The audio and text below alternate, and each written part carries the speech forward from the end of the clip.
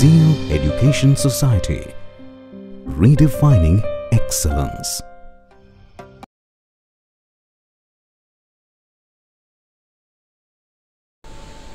Welcome back. So far we have seen the concept of Z transform and also we have solved some numerical examples on it to consolidate the concept.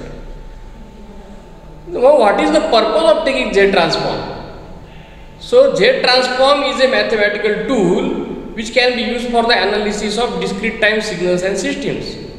So when the discrete time signal x of k is available, you want to perform some sort of analysis on it, you can perform it in Z domain now the signal is available in Z domain after you take Z transform. Then in that you can perform the some, some sort of analysis. But the final interest is in the time domain signal only. So we shall be able to revert back to the time domain signal. So from x of z to x of k. And this is nothing but inverse z transform. So what we have done we have x of k taken z transform gives me x of z but this is bidirectional means when taken inverse z transform of x of z we get x of k. Now how to find this? There are certain methods to find the inverse z transform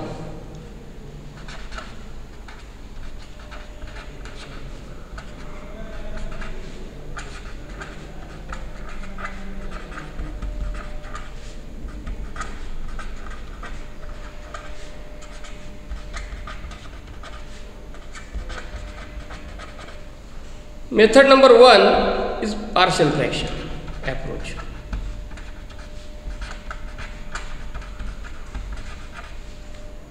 Second one is residue method.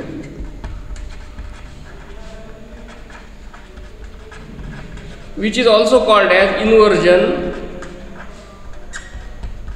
integral. Though in practice we are not taking any integral, but from this it comes to it comes to residue finding out residue. And we are not going to enter into those mathematical details but we will see the methods and we will find out the inverse transform of some functions by these methods. And the third method is direct division.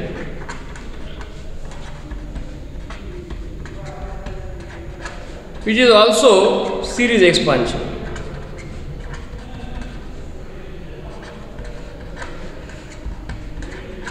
Sometimes it is also called as long division method. So one by one we will see these methods and we will solve the numerical examples. In this lecture we will see the partial fraction method and we will solve some problems. So in partial fraction method what is done for the given z domain function we take eh, convert it into partial fractions or the partial fraction expansion so that it will be in the form of say z upon z minus a. And then we will use the table of z transform that is the pairs z transform pairs between x of k and x of z. And using that and using some properties sometimes we will get x of k. So let us start with the numerical examples.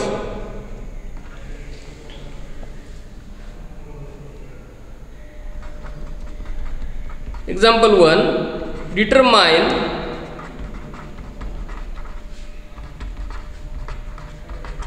inverse Z transform of x of z equal to z into z plus 2 upon z square plus 4z plus 3 and ROC is not mentioned. If ROC is not mentioned means by default it is unilateral Z transform and its ROC is outside the outermost pole and that is why it is not mentioned. If ROC is mentioned then it is a bilateral Z transform but we are covering only unilateral Z transform so there will not be any ROC. So let us start with it.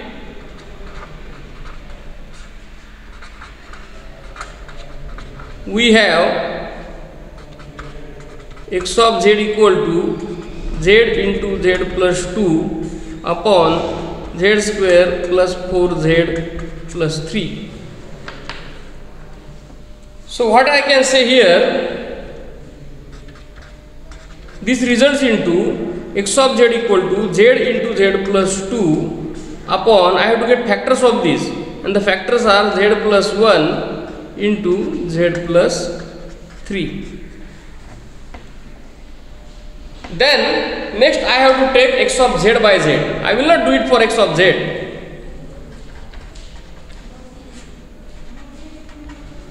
I will not take partial fraction of x of z, but I will take partial fractions of x of z by z. Why? I will tell you at the time of getting inverse z from the x of z. After getting the partial fractions. So this x of z by z will be what? z plus 2 upon z plus 1 into z plus 3 and which I can write as a upon z plus 1 plus b upon z plus 3 and now let us find out a and b.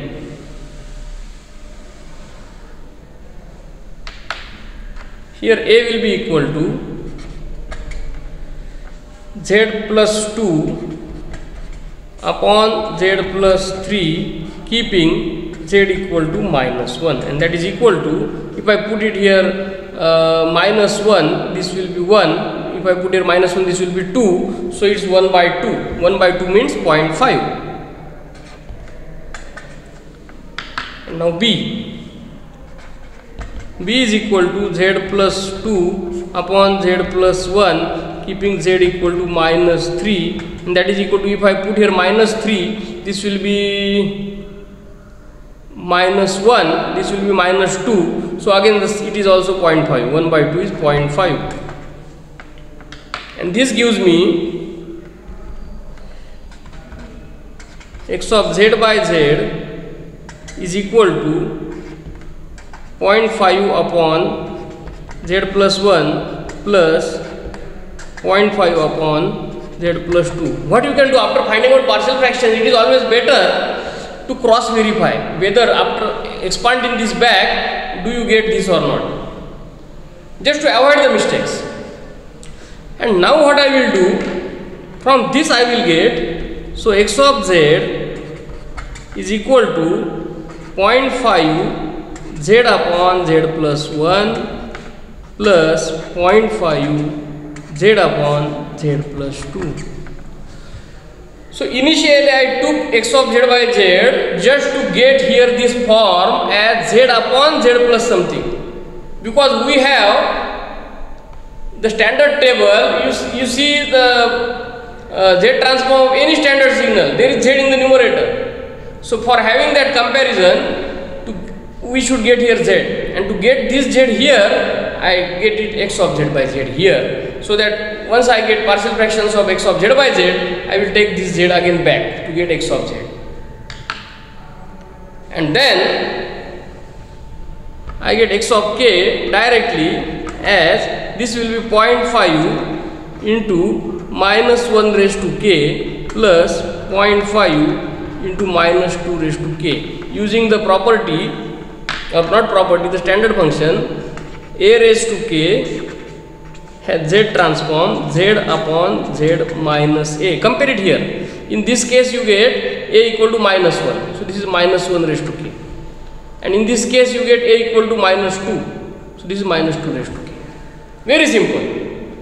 Let us solve a few more examples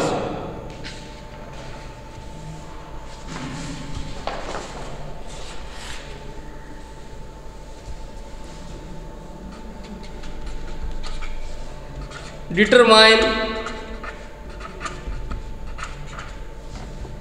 inverse Z transform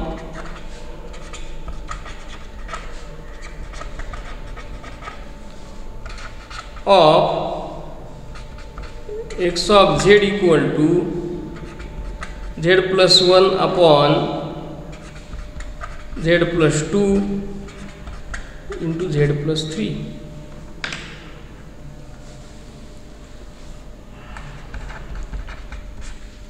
So what we have?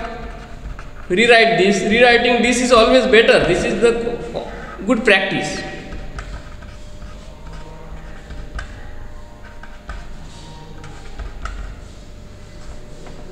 Now, in this case, you don't have z in the numerator. Now, what to do? Whether to take partial fractions of this directly or whether to take x of z by z. It is always better you go by x of z by z. So,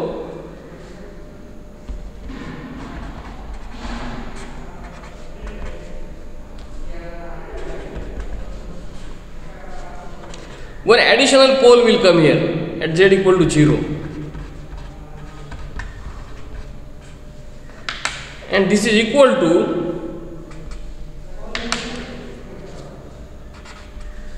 a upon z plus b upon z plus 2 plus c upon z plus 3 and now let us find out a b and c.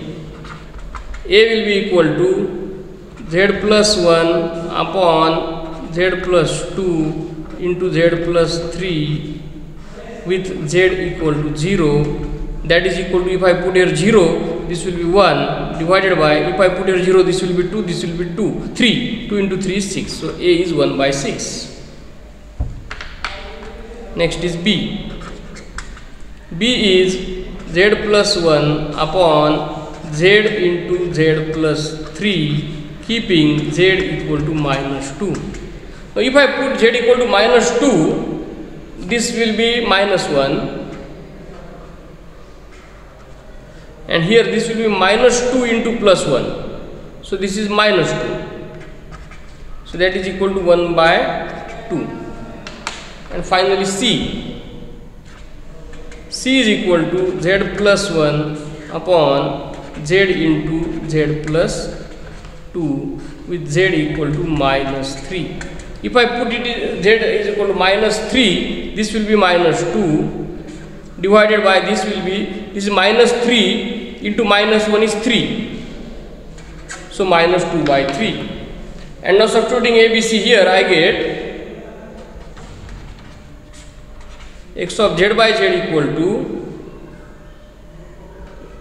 1 by 6z plus 1 by 2 z plus 2 minus 2 by 3 z plus 3 and so x of z is equal to 1 by 6 z by z is 1 plus 1 by 2 into z upon z plus 2 minus 2 by 3 into z upon z plus 3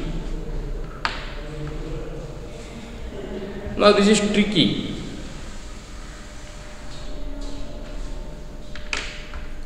so then what is x of k Here to get x of k, what about 1 by 6? So, for 1 by 6, 1 by 6 into inverse of 1, z inverse of 1 is delta, delta function. So, it is delta k. For this it will be plus 1 by 2 into minus 2 raised to k. This is z upon z plus a applying that. As done in the previous example minus 2 by 3 into minus 3 raised to k. So this is the answer. And no doubt here what you can write this is for k greater than equal to 0 as it is unilateral no need to mention but still you should know that this x of k is equal to 0 for k less than 0 let us take couple of more examples.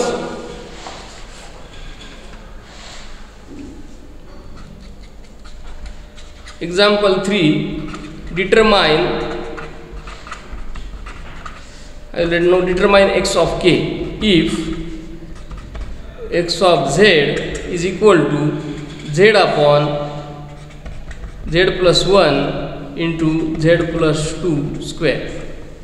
I am trying to cover multiple cases. Now here I am taking a case where there are repeated poles. In the earlier case, I covered an example where there was no z in the numerator. Then what to do? So here it is another type of example.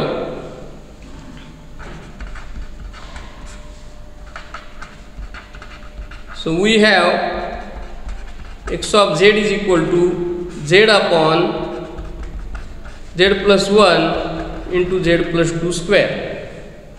Then in this case, what I get x of z by z will be equal to 1 upon z plus 1 into z plus 2 square and this can be written as which is equal to a upon z plus 1 plus b upon z plus 2 square plus c upon z plus 2. Now let us find out a, b, c one by one. a will be equal to 1 upon z plus 2 whole square with z equal to minus 1 and this is equal to it will be 1 then b will be equal to 1 upon z plus 1 with z equal to minus 2 and this will be equal to minus 1 i am purposely not now uh, getting how to find out partial fractions. Number of times we have covered in the earlier videos. And then c it will be equal to d by dz of 1 upon z plus 1 with z equal to minus 2 and this is equal to minus 1 upon z plus 1 whole square derivative of this and uh, then uh, putting z equal to minus 2 so again this is equal to c is equal to if I put here minus 2 minus 1 square is 1 so this will be minus 1 and this gives me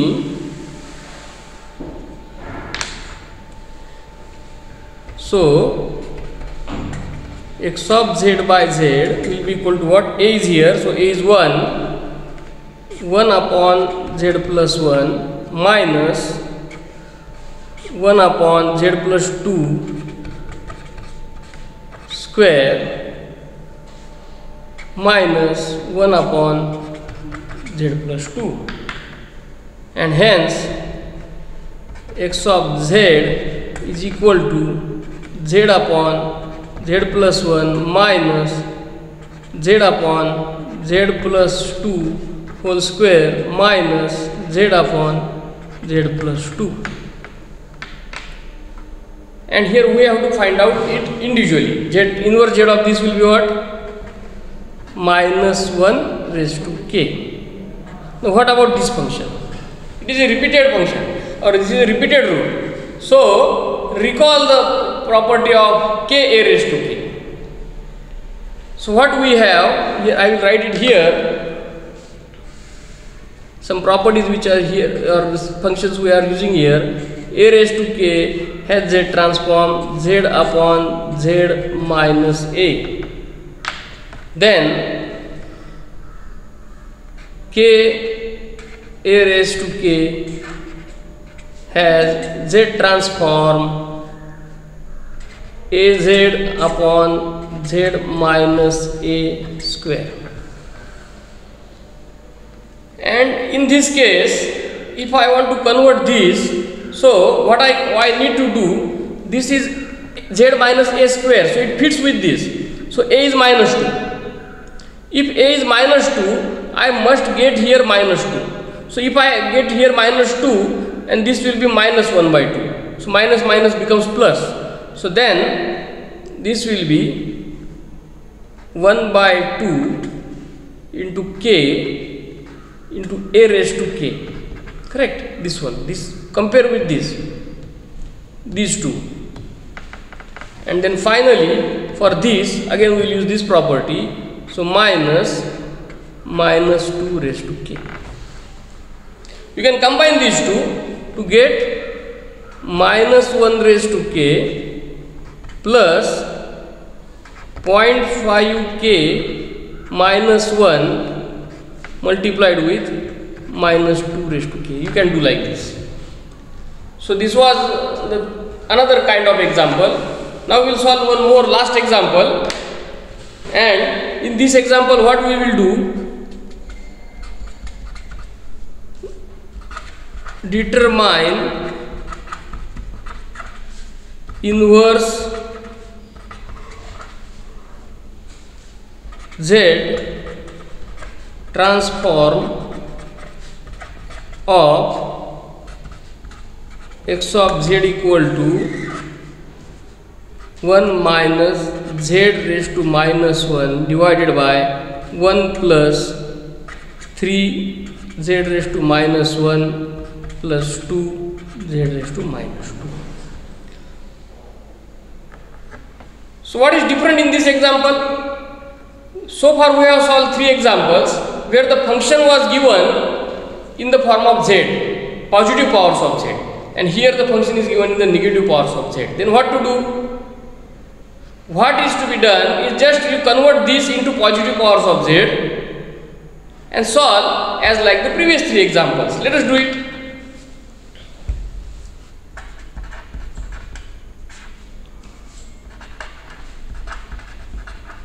We have x of z equal to 1 plus 1 1 minus z raised to minus 1 upon 1 plus 3 z raised to minus 1 plus 2 z raised to minus 2. Now always take the highest power of highest negative power of z either in numerator or denominator. Here the highest power of uh, negative power of z is minus 1 and here it is minus 2 means we have to choose this minus 2. So to make it 0 multiply numerator and denominator by z square because here negative, highest negative power is z raised to minus 2.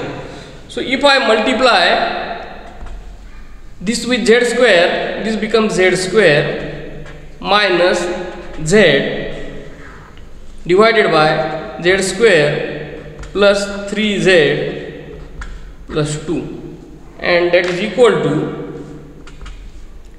z into z minus 1 divided by z plus 1 into z plus 2 now it is in the standard form. Purposely I have taken one z common so that I can make it x of z by z.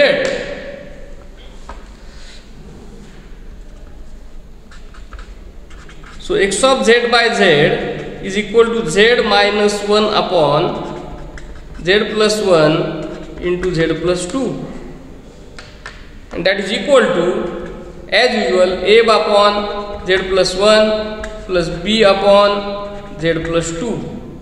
Now what is a?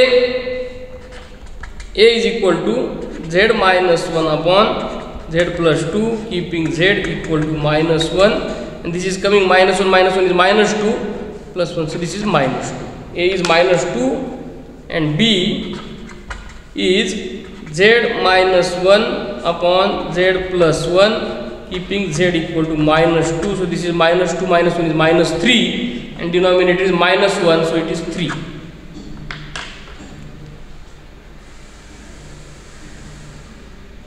so then what is x of z by z?